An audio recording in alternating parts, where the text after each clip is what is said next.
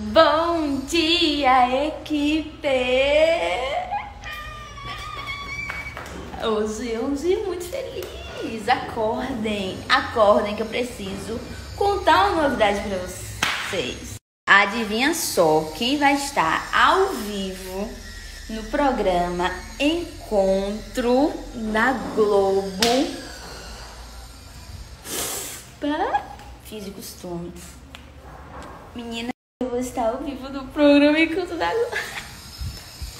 Gente, tá dando mais pra vocês, velho, mas só não vou contar agora. Então, a partir das 10h30, eu vou estar ao vivo no programa Encontro na Globo. Eu quero muito, muito, muito, muito, muito que vocês estejam por lá me assistindo. E é isso, gente. Agora eu vou dar uma repaginada aqui, tomar um banho de esse cabelo. E já já eu passo aqui pra falar com vocês, tá? Antes de tudo, quando eu estiver pronto, eu passo aqui pra me mostrar. E olha só o look matinal da Broqueiras de vocês. Bem fina, bem tranquila, bem clean.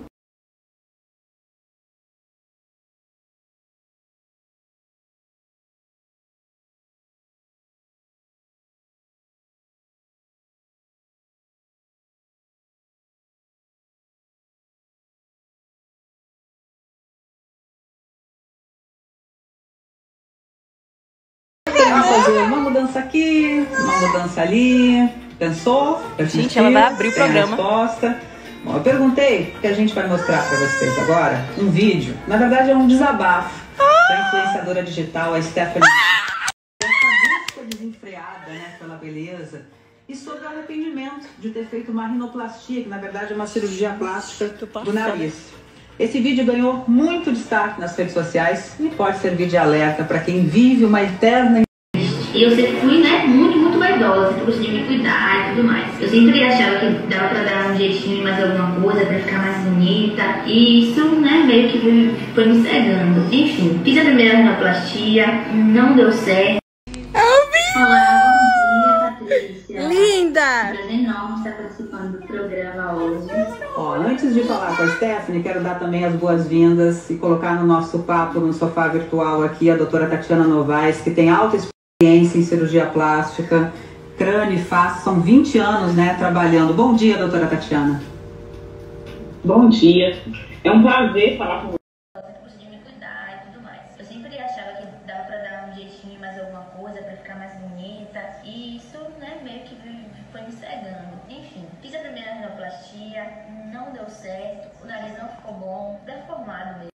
Pra falar a real. E aí juntou, né, o resultado do meu nariz, minha baixa autoestima, meus conflitos internos, essas ondas de críticas todas, e isso só acabava mais comigo, sabe? Chegava ao ponto de não, não conseguir A beleza, porque você é linda, você é uma menina linda. É, você queria aperfeiçoar a beleza ou por que exatamente?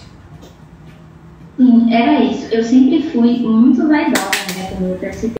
Então, eu sempre busquei essa perfeição que de fato não existe. E eu achava que eu teria um nariz mais harmônico ao meu rosto. Eu achava o nariz mais largo, né? Então, eu acho que se eu tivesse, achava que se eu tivesse feito a rinoplastia, eu teria um nariz mais harmônico, que ficaria mais bonito nas fotos, nos meus vídeos. E foi por isso que eu fiz. Por isso, na verdade, a minha procura pela rinoplastia.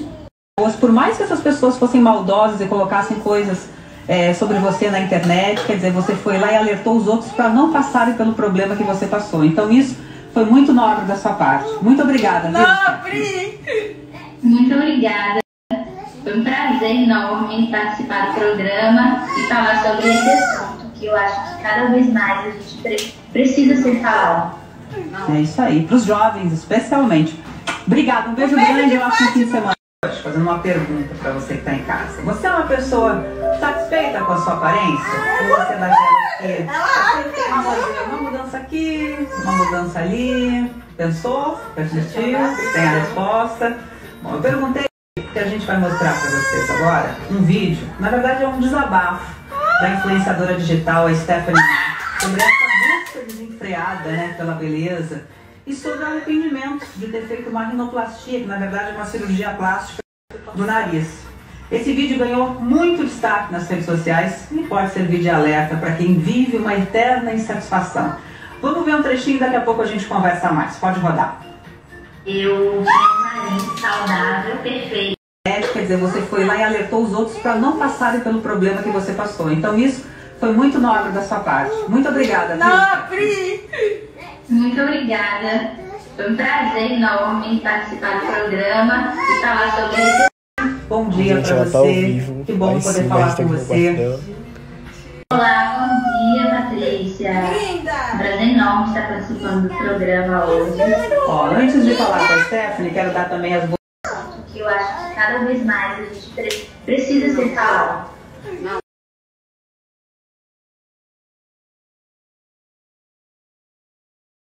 Obrigada, doutora Tatiana, pelas dicas.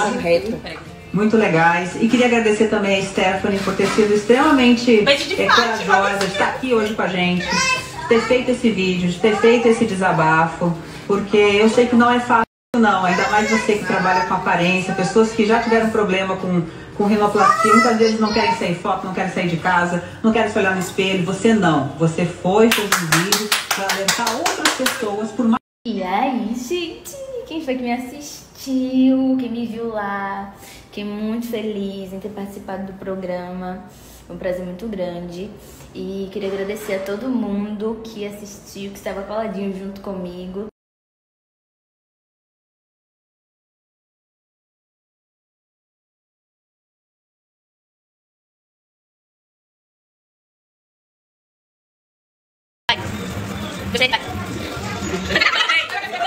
Tô pronta agora para tomar um belíssimo café da manhã com os que eu gosto. Vocês me assistiram no encontro pessoal. Achou o quê? Achou o quê? Achei, achou o quê? Achei nobre. Achei nobre. Você assistiu Mamãe Vida? Vale assistir.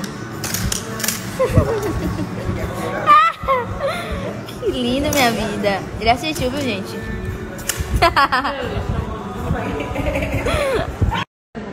Tô aqui esperando pra comer, mas a Lorena já tá comendo já, velho. Se esperar aqui, filho, você não vai comer. Ontem que eu tava no C9, eu falei assim, amiga, vamos almoçar, vamos. Eu sentei, esperei 20 minutos, eu almocei, terminei, pedi o Uber, o Uber chegou. Quando eu tô saindo, ela, não tá almoçando, não? Eu tenho que ir, eu tenho que ir. Ela, essa outra vez, ah, tá então eu vou gravar. Nem almocei. Lorena, eu sei que você é igual a mim. Eu sei. Então confesse. Esse aqui não é o primeiro café que você vai tomar hoje. Você já comeu hoje de manhã, não comeu não? Já, amiga? Tô com fome, preciso comer. Eu hoje de manhã eu comi um café gostosinho, um pão, suco de uva. Aí agora, não, agora é realmente o café de verdade, entendeu? Eu vou levar inclusive esse pratinho de fruta que lá em casa não tem. Gente, eu não sei vocês, mas eu sou esse tipo de pessoa aqui, ó. Pra tirar foto. Eu sou uma benção, uma paciência divina. Tiro um milhão pra no final postar uma. E às vezes eu nem posto que eu não acho que ficou boa.